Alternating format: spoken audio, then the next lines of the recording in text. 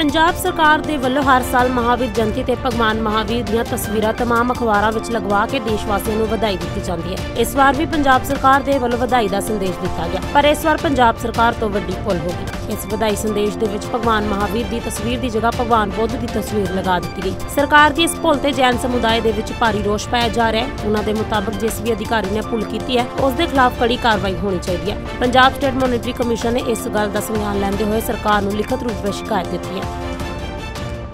ਅੱਜ ਪੰਜਾਬ ਸਰਕਾਰ ਦੇ ਅਧਿਕਾਰੀ ਵੱਲੋਂ ਜਿਹੜੀ ਪੇਪਰ ਵਿੱਚ ਭਗਵਾਨ ਮਹਾਵੀਰ ਦੀ ਫੋਟੋ ਦਿੱਤੀ ਗਈ ਹੈ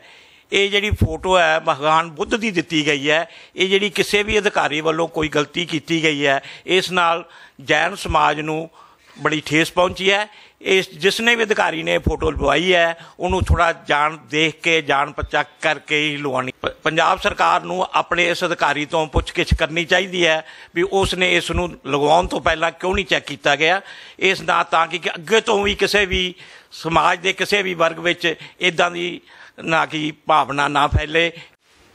आज पंजाब सरकार की तरफ से कई समाचार पत्रों में भगवान महावीर के जन्म जयंती के उपलक्ष्य में जो शुभकामनाएँ दी गई हैं, उसमें जो भगवान महावीर स्वामी का